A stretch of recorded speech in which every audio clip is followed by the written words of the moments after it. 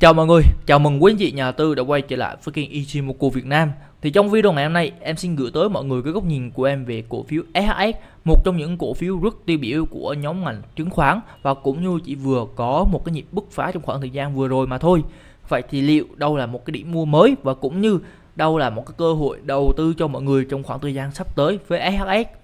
Thì trước khi bước vào nội dung chính của video ngày hôm nay, mọi người đang xem video thấy hay và hữu ích, đừng quên để lại cho kênh Ichimoku Việt Nam một subscribe cũng như là cho video của em một like. Có bất kỳ câu hỏi nào, mọi người hãy đừng ngừng ngại mà để lại phần comment. Em sẽ giải đáp cũng như là trao đổi mọi người một cách kỹ càng và nhanh chóng nhất. Rồi, thì như thường lệ, chúng ta phần đầu tiên sẽ tổng quan thị trường trong phiên ngày 4 tháng 4 năm 2024 này. Thì thị trường hôm nay cái phiên ở mức 1268 điểm giảm 3.22 điểm cùng với mức thanh khoản là 23.862 tỷ. Đây là một mức thanh khoản thấp, thấp hơn trung bình 20 phiên trở lại đây và có cái xu hướng là giảm dần trong 3 phiên trở lại đây. Về nhịp giảm điểm của thị trường và các hành động của thị trường trong ngày hôm nay thì thị trường chủ yếu là biến độ trong biên sideways từ vùng 1277 cho tới là vùng 1265. Đây là một vùng sideways của thị trường chung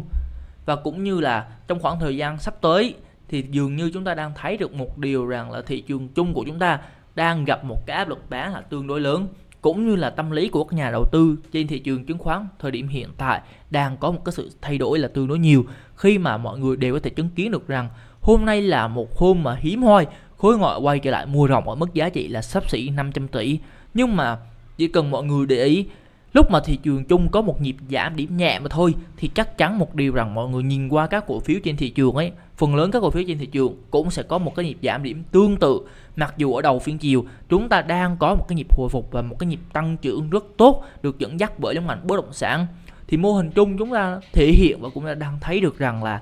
lực áp lực bán hiện tại đang có và dường như chúng ta chưa thấy một cái sự quay trở lại của dòng tiền tham gia vào và nâng đỡ thị trường chung ngày hôm nay về à, tác động tới VN Index thì các cổ phiếu như là Vietcombank là các cổ phiếu góp phần lớn nhất trong cái đà tăng trưởng ngày hôm nay. Cũng như bên đà giảm điểm ấy, chúng ta có một cái sự là tham gia của GVR, Techcombank, CTG, MBB, HBG thì hầu hết các nhóm cổ phiếu trụ ngày hôm nay đều có một cái nhịp giảm điểm và gây áp lực chung cho thị trường của chúng ta. Rồi, nhìn về đồ thị kỹ thuật của VN Index. Với phiên hôm nay là một phiên giảm 3.22 điểm và thanh khoản đang có dấu hiệu là thấp đi dần thì cá nhân em cho rằng ấy, hiện tại thị trường vẫn đi trong nền tích lũy của mình mà thôi. Đó đó là 1267 cho tới vùng 1290 1293 và chúng ta chưa thấy bất kỳ một hành động nào mà thị trường chúng ta vi phạm cả. Và đây, một vùng 1265 1268 là vùng đang hợp lưu bởi trendline về mặt ngắn hạn, cũng như là đang là một cái nền tích lũy biên dưới của mô hình tích lũy ngắn. Thì đây là một vùng mà có thể thị trường chung của chúng ta đang có dấu hiệu là chuẩn lại cũng như là sẽ hồi phục trong khoảng thời gian sắp tới. Nhìn về khung đồ thị H1 thì trong ngày hôm nay là một ngày mà thị trường sẽ có cái rủi ro là giảm điểm lớn nhất bởi vì sao? Vì ngày hôm nay là ngày mà Tenkan Kijun có xu hướng là hợp bích và phóng xuống. Bên cạnh đó, thị trường của chúng ta đã thoát ra khỏi cái vùng may này rồi có nghĩa là chúng ta không còn một cái động lực đỡ nào quá lớn của thị trường chung cũng như rằng là chúng ta đang có một cái vùng khách sạn mở ra rất là lớn vào ngày hôm nay, tạo ở giao 65 và 129 thì tất cả những điều đó nói lên rằng phiên hôm nay là một phiên có thể có xu hướng giảm điểm rất mạnh. Nhưng thị trường hôm nay, nó lại không phản ứng như thế. Nó đang có một cái dấu hiệu là chững lại và chưa có dấu, chưa muốn là giảm điểm quá mạnh. Bởi lẽ thì điều này cũng dễ hiểu. Khi mà để mà thị trường giảm điểm lớn trong khoảng thời gian hiện tại có thể chúng ta sẽ cần thêm một số các thông tin bổ trợ. Có nghĩa là chúng ta sẽ cần một số thông tin rất sốc để khiến thị trường có một cái nhịp hoảng sợ và tạo ra một cái tâm lý à, lo sợ và bán tháo mạnh mẽ hơn của thị trường chung. Và có thể nói đó là một cái cú rũ lớn. Ở thời điểm hiện tại vùng 1257 vẫn sẽ là một vùng hỗ trợ rất quan trọng của các nhà đầu tư chúng ta và của thị trường chung. Bởi vì nếu mà mất đi vùng 1257 này mô hình chung nó sẽ xác nhận là thị trường của chúng ta sẽ mất đi cái trendline tăng và cũng như là các cuộc vận động của thị trường trong khoảng thời gian trước đó ấy, nó sẽ cần được tích lũy lại một cách là tương đối lâu. Vì thế thì vùng 1257 1258 sẽ là một vùng quyết định của thị trường trong các phiên giao dịch sắp tới. Và chúng ta cần phải giữ được ở trên vùng này để xác nhận rằng thị trường của chúng ta vẫn đang trong trạng thái khỏe và rất là tích cực. Về chỉ số VN Index về mặt ngắn hạn thì trong phiên ngày mai là phiên mà thị trường sẽ có cái khả năng hồi phục lên trở lại là rất tốt. Trước mắt là chinh phục lại vùng 1277 bởi vì hôm nay với việc mà thị trường không tiếp tục là bứt phá 1265 và tiếp tục giảm sâu ấy, về lại 1260 thì cơ bản là vùng 1264, 1265 đã hình thành một vùng hỗ trợ là rất chặt chẽ rồi. Và bên cạnh đó vào phiên ngày mai chúng ta sẽ có một cái vùng khách sạn mở ra đâu đó là sau 10 giờ sáng thì đó cũng sẽ là một cái động lực giúp cho thị trường có một cái nhịp hồi phục lên trở lại và nếu ở vùng 1277 này mà thị trường có một cái nhịp bứt phá lên và xác nhận và tiếp tục bật tăng chui vào được cái vùng may hiện tại thì mô hình chung thị trường của chúng ta vẫn sẽ là đang rất ổn và có khả năng là hồi phục lại lên lại vùng biên trên 1292 trong khoảng thời gian sắp tới. Rồi. Thì à, đó là một số góc nhìn của em về thị trường chung. Ở thời điểm hiện tại để mà nói là thị trường có rủi ro hay chưa, em đánh giá là thị trường đang xuất hiện cái rủi ro của mình. Nhưng mà không vì thế chúng ta sẽ bán đổ bán tháo các cổ phiếu của trong trong danh mục của mình ở thời điểm hiện tại. Bởi vì thị trường chung vẫn chưa thể giảm sâu ngay được và có thể nó đang đi theo xu hướng là cưa chân bàn. Vì thế các nhịp hồi phục bề mặt ngắn hạn là có thậm chí nó còn có thể quay trở lại cái đà tăng của mình một cách rất là bất ngờ. Mọi người vẫn nên kiên nhẫn và chờ đợi thêm trong cái giai đoạn hiện tại thì mọi người nên chấp nhận một cái vấn đề rằng là nếu mọi người không có một cái sự chủ động là mua đỏ bán xanh, thì mọi người cần thiết phải tiếp tục nắm giữ. Và cho đến khi nào các cổ phiếu của mọi người vi phạm, thì khi đó chúng ta sẽ ưu tiên là xử lý và bán ra một cách thật là quyết liệt. Thì đó là cách mà em cho rằng là sẽ phù hợp trong giai đoạn hiện tại. Và để mà mọi người tránh đi cái tâm trạng mà lo âu cũng như là lo sợ thì có thể mọi người nên ưu tiên là hạ về tỷ trọng là 70% cổ phiếu và 30% tiền mặt thì đó sẽ tạo ra một cái tâm lý là ổn định hơn cho các phiên sắp tới. Rồi, và phần thứ hai chúng ta sẽ nói về cổ phiếu SHS. Thì trước khi bước vào phần này mọi người đang xem video mà chưa có người tư vấn cũng như là chưa có người hỗ trợ thì có thể đồng hành cùng em trên thị trường chứng khoán với ID VBS là PTC0 để em có thể trao đổi đồng hành và cũng như là à, hỗ trợ mọi người trong khoảng thời gian sắp tới nhé. Rồi, với riêng cổ phiếu SHS, đây là một cổ phiếu ở hiện tại nó chỉ vừa bứt ra khỏi cái vùng đỉnh tháng 8 tháng 9 của mình mà thôi. Với một cây tăng điểm em đánh giá là rất tốt. Tuy vậy, các thanh khoản của nó vẫn chưa quá thuyết phục. Vì thế ở thời điểm hiện tại thì có thể SHS chỉ đang đi một cái nền sideways ngắn hạn của mình. Đây.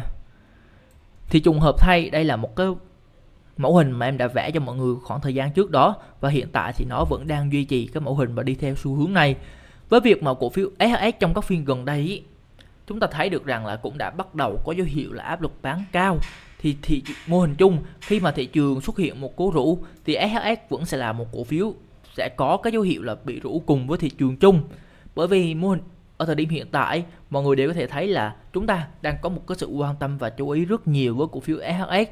và bên cạnh đó, nhóm cổ phiếu chứng khoán nói chung là nhóm cổ phiếu phản ánh và cũng như là vận động rất là linh hoạt với thị trường chung và vì thế thì khả năng rất cao, khi mà thị trường có biến thì các cổ phiếu nhóm chứng khoán cũng sẽ có biến. Vùng mua tốt nhất của SHS vẫn sẽ là vùng giá dưới 20. Vùng giá dưới 20 em sẽ nói chung cái vùng này, bởi vì ở hiện tại chúng ta có thể thấy rằng là vùng giá 20 đang là một vùng tạo đây một cái nền tích lũy ngắn hạn cho cổ phiếu SHS và bên cạnh đó, ở phía dưới vùng giá 20 đang rất gần là vùng giá 19.5 cho tới là vùng giá 18.8 là đang là hai vùng hỗ trợ em đánh giá là rất tốt. Và nếu cổ phiếu SHS thực sự về lại hai vùng này, tuy nó sẽ cần nhiều thời gian hơn, bởi vì nó đã xác nhận là quay trở lại là cái nền tích lũy trước đó của mình rồi, thì nó sẽ dường như sẽ cần nhiều thời gian hơn để bật tăng trở lại. Nhưng mà đây sẽ là hai vùng mua rất tốt, vì thế mọi người hoàn toàn có thể canh là chia tiền của mình ra để tham gia gom vào các cổ phiếu trong danh mục và cũng như có thể để ý với cổ phiếu SHS rất nhiều trong khoảng thời gian sắp tới. Nhìn về khung đồ thị tuần, mọi người đều có thể thấy được rằng SHS đã là một cổ phiếu có một cái xu hướng tăng là rất tốt, với việc Tenkan Kijun ngay trong khung tuần đang có dấu hiệu là xong, hợp bích và hướng lên, thể hiện được một điều rằng SHS là một cổ phiếu sẽ có một cái xung lực bậc tăng rất là triển vọng.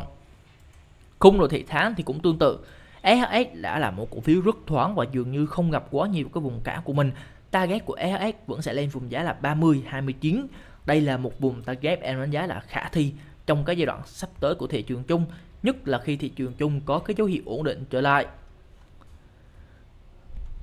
Ở thời điểm hiện tại thì không chỉ với cổ phiếu SHS mà tất cả các cổ phiếu trên thị trường chung của chúng ta luôn. Mọi người cần phải quan sát cũng như là cần phải quản trị rủi ro. Chỉ khi nào cổ phiếu SHS có cái dấu hiệu là bị mất đi khỏi cái vùng hỗ trợ của mình và mất đi cái xu hướng tích lũy và tăng ngắn hạn. Tiêu biểu với SHS á, đáng ra là vùng giá 20 là vùng mà nếu mất đi chúng ta sẽ cần phải quản trị rủi ro. Nhưng mà đặc biệt với riêng cổ phiếu SHS này là một cổ phiếu đang có một cái vùng hỗ trợ rất tốt quanh vùng này. Vì thế thì chúng ta hoàn toàn vẫn sẽ có thể kỳ vọng được. Để mà nói chúng ta có thể bán SHS ở thời điểm hiện tại hay chưa cá nhân em cho rằng là vẫn chưa có đủ dữ kiện nhất là khi trong hai phiên trở lại đây, nó đang có một cái xu hướng giảm điểm. Với một mức thanh khoản là không quá cao. Vì thế thì tội gì chúng ta phải bán cổ phiếu SS trong khoảng thời gian hiện tại, khi mà chúng ta vẫn sẽ còn cơ hội bật tăng trong khoảng thời gian sắp tới? Thì đó là góc nhìn của em về thị trường chung, cũng như là với riêng cổ phiếu SS trong ngày hôm nay thì mọi người có bất kỳ câu hỏi nào cũng như có bất kỳ trao đổi nào cần bàn luận thêm, chúng ta có thể để lại ở phần comment hoặc là liên hệ trực tiếp với em số điện thoại bên dưới để em có thể tư vấn và đồng hành cùng mọi người trong khoảng thời gian sắp tới. Cảm ơn mọi người đã quan sát và cũng như là theo dõi cái video ngày hôm nay. Hẹn gặp lại mọi người trong các video và các buổi livestream lần sau.